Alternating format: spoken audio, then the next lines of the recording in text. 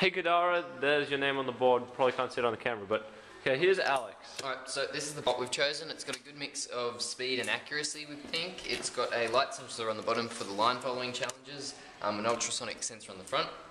Um, and then we're using the Lego NXT system with its sort of a brick computer on the top, and we're going to be programming that using the sensor information and controlling um, the motor for each of the wheels. So there's an individual motor for each wheel, as you can sort of see there.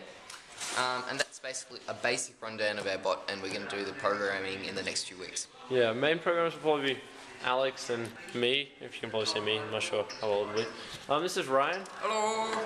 He's just kind of fiddling around with things currently. He's going to help with designing things and with the System report testing. and system testing. He'll try and look for bugs and stuff. Um, then we got other Alex over here. Yeah, we got two Alexes. Yeah, we got two Alexes. They look very different. You won't get them confused. Yeah. He's um doing the flag because that's he's good at Photoshop. Um, he's also currently just going through parts, looking for things we can add, bits we can take off, so everything we can do better. Um, yeah, Alex, we're doing his programming on a Toshiba, and yeah, he, he, he's a Linux man. Um, that's pretty He's much the smartest the- one of us. Yeah, he's the smartest one out of all of us, easy. Um, but yeah, then there's me. I'm currently, I'm probably a backup programmer. Would need help with that. I'll probably help out with the report.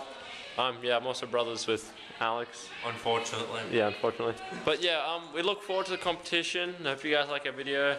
Um, just more fiddling around with things. Yeah, awesome. Okay, bye.